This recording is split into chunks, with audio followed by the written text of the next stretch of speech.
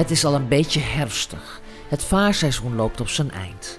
Dus maken we elk tochtje dat we nog kunnen maken. Ook al is er dit weekend veel regen voorspeld. Hier liggen we nu. We gaan via Tjeukenmeer en Tjonger naar Heerenveen. Waarna we door de Herensloot, de nieuwe pompsloot en een eenzame kapel met een mooi verhaal langs natuurgebied de delen naar Aldeborn en Akkeren varen. Maar liefst 23 bruggen komen we tegen onderweg. De meeste zijn elektrisch. Naar de sierlijke draaibruggen van Aldeborn worden nog ouderwets met de hand bediend. Maar eerst even kort over ons. Dit is Pieter en ik ben Marieke. Onze boot is een Saint-Tropez cabin cruiser van ruim 9 meter lang, zo'n 2 meter hoog en 80 centimeter diep. We kochten haar in Duitsland, maar het is van oorsprong een echte Friese dame. Samen varen we over de mooiste slootjes, meren en rivieren van Nederland en maken daar video's van. Dat wil zeggen, ik film. En Pieter? En we heen en weer varen? We komen heel veel moois tegen onderweg en willen dat graag aan iedereen laten zien. Kijk met ons mee naar Nederland vanaf het water.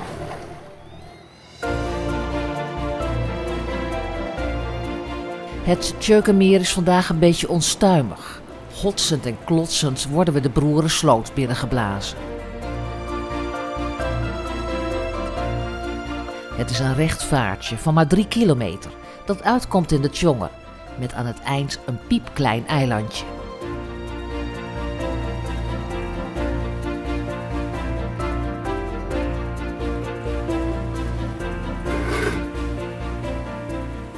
Zo, waar gaan we langs eh, vandaag? We zitten nu op de, de, op de. En dan gaan we naar de Engelenvaart. Richting Heerenveen.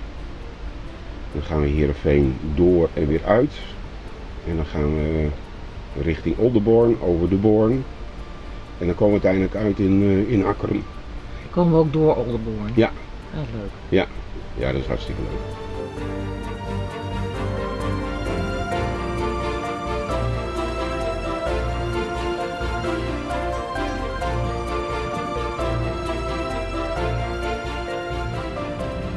Dit is de Kuinder of de Tjonger. De rivier ontspringt op de grens met Drenthe en stroomt 50 kilometer lang door Friesland.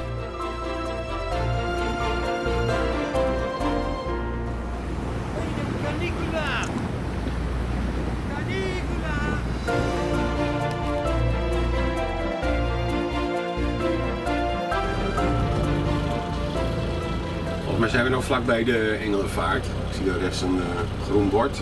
Mij staat erop van Heerenveen. Dus, eh, Zou die nou vandaan komen? Heerenveen, Veen van de Heren. Dat is het enige wat ik kan bedenken. Ja, dat klopt ook, maar ik bedoel de Engelenvaart. Oh, dat, dat, dat weet ik echt niet. Het is mij niet bekend dat hier een hoop engeltjes zijn of zo. De Friese jonkheer Daniel Engelen liet hem graven en kreeg daarom de vaart naar zich genoemd.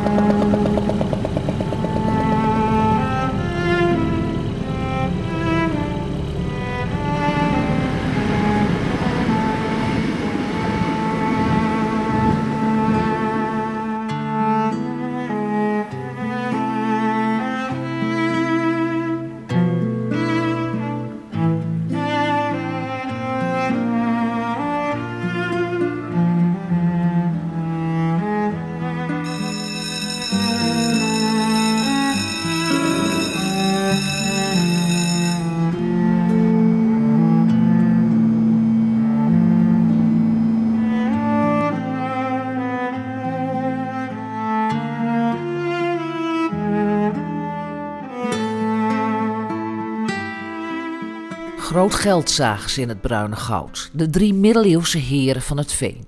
Voor de afvoer van de kostbare brandstof groeven ze de Schotenlandse compagnonsvaart en deze herensloot. De herensloot bestaat nog steeds, maar de compagnonsvaart is inmiddels afgedampt. Op deze luchtfoto kun je hem nog duidelijk in noordelijke richting zien stromen. Nostalgisch hangt een foto van de oude brug in de naastgelegen winkelstraat. Zoals in veel plaatsen gaan ook in Heerenveen stemmen op om de brug terug te brengen en het water weer bevaarbaar te maken. Wie is dit? Dit is uh, dokter Willem Frederik Duisenberg, oud-bankpresident. Had kennelijk honger, denk ik. Oud-inwoner Wim Duisenberg staat vlakbij de prachtige Oenema-staten. Even verder staat het minstens zo imponerende Krakstaten. Beide huizen werden gebouwd door grietmannen, zoals de burgemeesters van Friesland vroeger werden genoemd.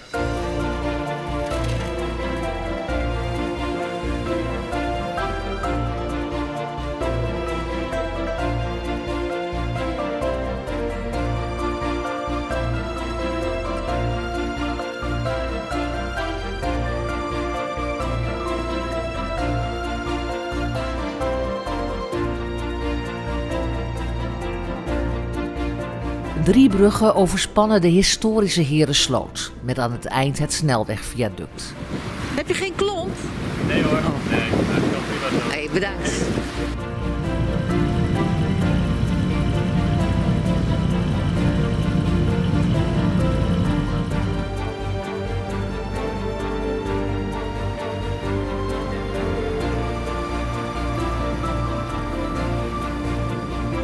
Even buiten Heerenveen liggen Nieuwebrug en Haskerdijken, ingeklemd tussen spoorlijn en snelweg.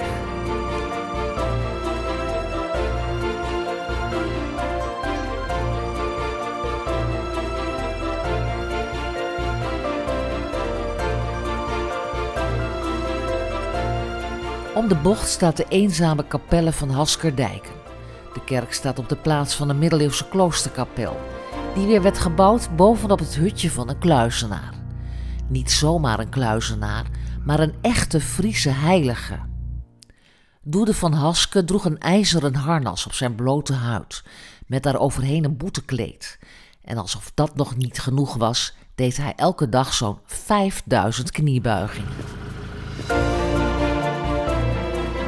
Op dat bord staat dat je drie keer moet toeteren, want het knopje is stuk. Oh. Ja.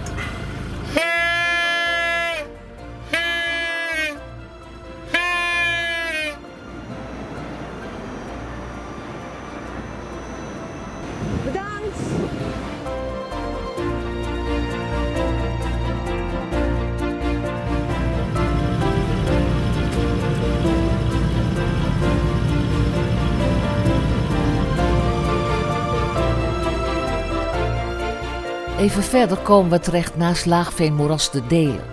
Veel van dat veen werd in de loop van de jaren uitgebaggerd.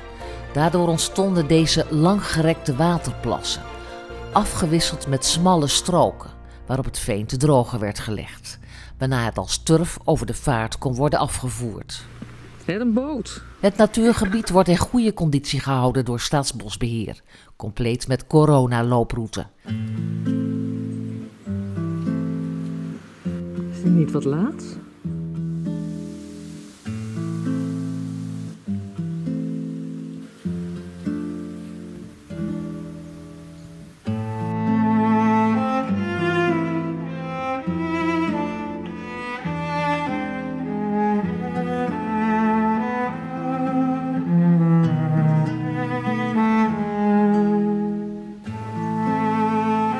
Na de Polsbrug, die we zelf mogen bedienen, passeren we het tripgemaal in Gersloot.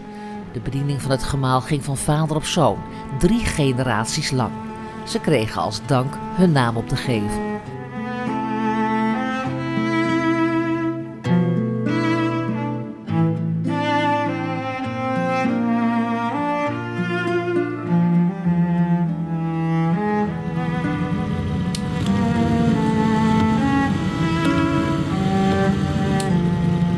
Aan het eind van de kaarsrechte hooivaart splitst het water zich in Nieuwe Diep en Nieuwe Vaart. Wij gaan bakboord uit naar de parel op de kroon van Frieslands oerrivier, de Boorn.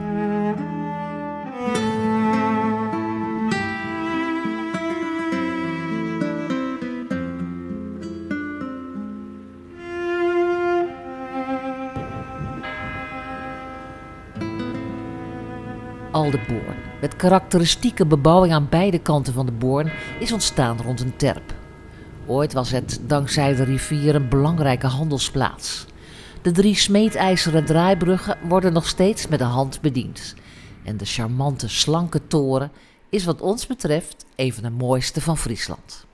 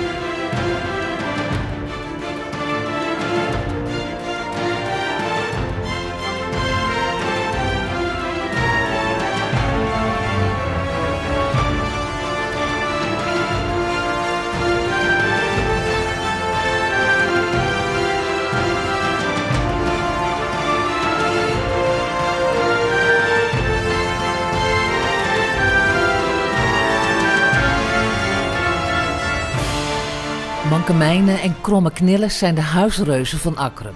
Mijnen groef een kaarsrecht kanaal. Knilles maakte er een potje van. Ga zelf maar eens kijken in het mooie Akrum.